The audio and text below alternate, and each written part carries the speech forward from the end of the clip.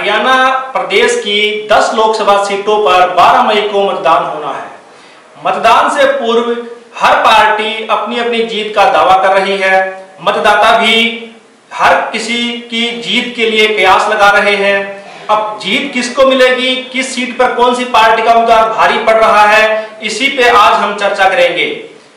तो जैसा कि पता है आपको कि भाजपा और कांग्रेस दो प्रमुख दलों के अलावा जेजेपी और इनेलो, ये भी अपने अपने उम्मीदवारों के साथ में मैदान में डटे हुए हैं।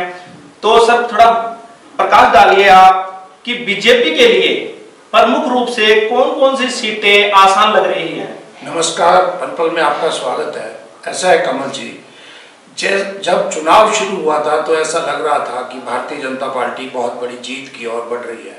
और कई सर्वे ये भी बता रहे थे भी नौ सीटें बीजेपी जीतेगी। लेकिन उस समय ऐसा लगता है कि भारतीय जनता पार्टी केवल मैदान में थी।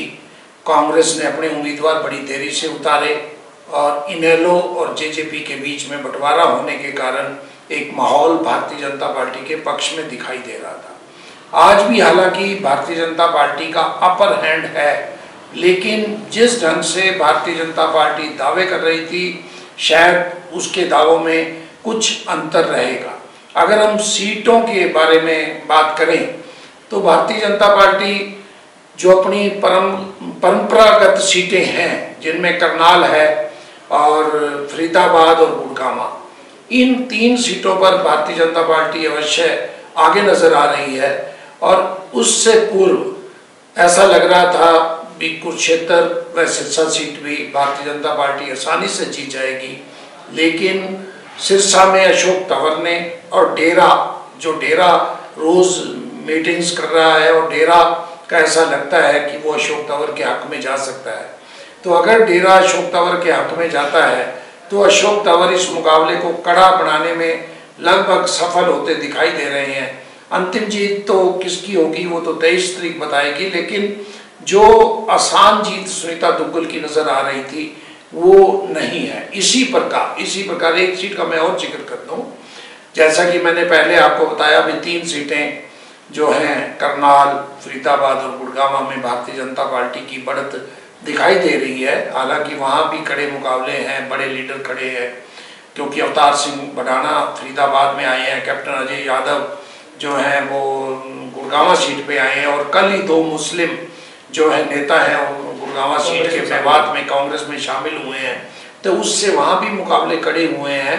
और उसके कुलदीप शर्मा के, जिनके पिता पंडित चंजी लाल जी शर्मा चार बार करनाल के रहे हैं तो करनाल सीट भी, लेकिन फिर भी ये सीटें भारतीय जनता पार्टी के लिए आसान है।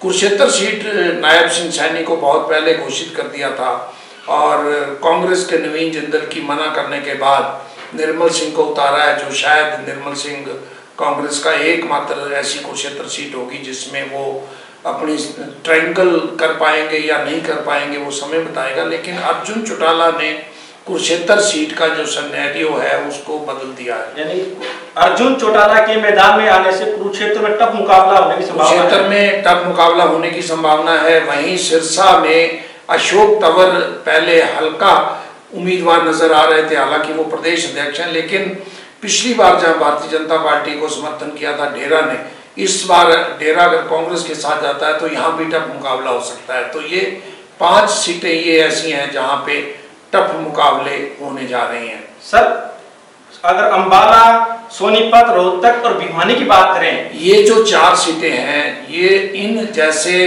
तीन सीटों पे पलड़ा भारतीय जनता पार्टी का झुका हुआ है। वहीं इन चार सीटों पर कांग्रेस पार्टी की बढ़त नज़र आ रही थी पहले, लेकिन जैसे ही सोनीपत से दिग्विजय चौटाला ने जो है वो मैदान में उतरे और रोहतक से अरविंद शर्मा और प्रदीप देसवाल।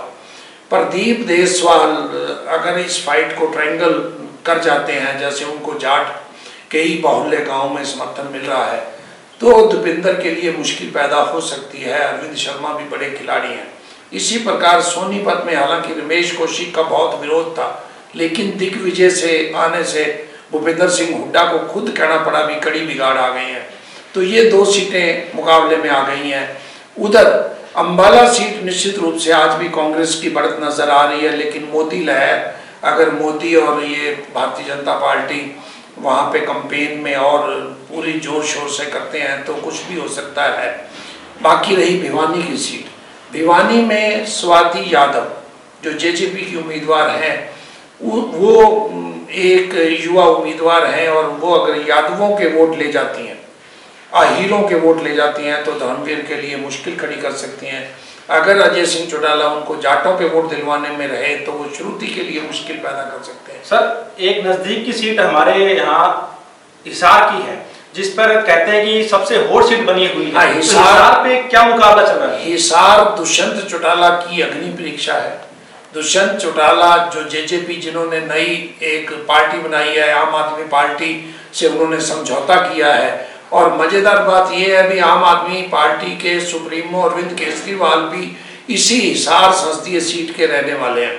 तो हिसार सीट दुष्यंत के लिए बहुत बड़ा परीक्षा है लेकिन भारतीय जनता पार्टी ने चौधरी वीरेंद्र सिंह के आई बेटे ब्रजिंदर सिंह को मैदान में उतार के जो है ना, वहाँ के जो आंकड़े हैं, वो सारे बढ़ा गए हैं। कुलदीप बिश्नोई कुलदीप बिश्नोई की भी अग्नि परीक्षा है और ब्रजिंदर सिंह के लिए प्लस पॉइंट दिखाई दे रहा है। हालाँकि उनके लिए सीट आसान नहीं होगी, लेकिन प्लस पॉइंट यह है, भारतीय जनता पार्टी की सोशल इंजीनियरिंग उनके काम आ सकती है। अगर गैर जाट का वोट भारतीय जनता पार्टी उनको दिलवा देती है।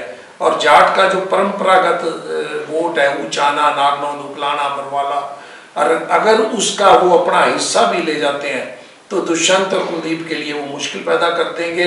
लेकिन ये सीट सबसे ज़्यादा इंटरेस्टिंग होगी, क्योंकि चौधरी देवीलाल की चौथी पीढ़ी सर छोटू राम की चौथी पीढ़ी व चौधरी भजन लाल की तीसरी पीढ़ी के बीच का मुकाबला कोई भी जीते, हारे और कोई भी तीसरे और पहले नंबर पे रहे, लोगों की रुचि बनी रहेगी। लेकिन अंत में मैं पल पल के दर्शकों को बताना चाहूँगा, भारतीय जनता पार्टी दस की दस सीटें जीतना चाहती है और कांग्रेस पार्टी, हालाँकि कहे तो वो भी दस सीटें हैं, लेकिन उनकी कोशिश है वो चार पाँच सीटें जीत जाएँ और जेजेपी की कोशिश है भी वो कम से कम हिसार की सीट जीत लें और सोनीपत में भूपेंद्र सिंह हुड्डा को कड़ी टक्कर दे दें और इनैलो की सारी प्रतिष्ठा कुरुक्षेत्र में लगी हुई है। तो इस प्रकार जहाँ कुरुक्षेत्र में इनैलो की प्रतिष्ठा है, वहीं हिसार में दुष्यंत, जेजेपी और आम आदमी पार्टी की प्रतिष्ठा है। वहीं भूपिंदर सिंह हुड्डा के लिए अगर वे सोनीपत और रोहतक की में से एक सीट हार गए तो भी उनके लिए जो है वो बड़ी प्रतिष्ठा का प्रश्न होगा। तो ये जो चुनाव है, वास्तव में सेमीफाइनल है क्योंकि चार महीने बाद विधानसभा के चुनाव होने जा रहे हैं। चुनाव बड़े दिलचस्प मोड़ पे है। हम एक बार फिर चुनाव से पहले 10 तारीख तक, जब तक नरेंद्र मोदी यहाँ पे दो या तीन रैलियाँ वो करने जा रहे हैं, अमित शाह छः रैलियाँ करने जा रहे हैं तो जो अंतिम चरण होगा, उसमें कुछ और जो रुझान होंगे हम अपने पाठकों को देंगे। आज इतना ही। नमस्कार।